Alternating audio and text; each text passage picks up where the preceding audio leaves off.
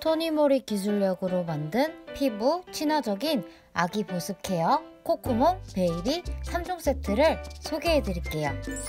24개월 아이부터 7세 아이에게 권장하는 베이비 전용 wash, 크림, 로션 세트예요.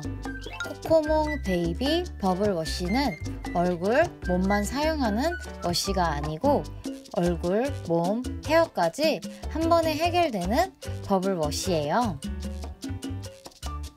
코코몽 베이비 크림과 로션은 여린 아기 피부를 하루 종일 촉촉하게 지켜주고 영양 만점 소시지 나무 열매 추출물과 수분막 보호, 보습 효과가 있는 천연 식물성 성분인 호호바 에스터 그리고 장시간 수분 보유 능력을 증진시켜주는 레시틴이 함유되어 있어요. 코코몽 베이비 로션은 face and body 로션으로 어린아이들도 혼자 사용할 수 있는 위생적이고 편한 펌프 형식이에요. 로션의 제형은 약간의 점성이 있으면서 촉촉하고 끈적이지 않고 산뜻한 발림성이 너무너무 좋아요. 은은한 꽃향기가 나면서 피부에 쏙쏙 잘 스며들고 촉촉한 수분감이 정말 오래 가더라고요.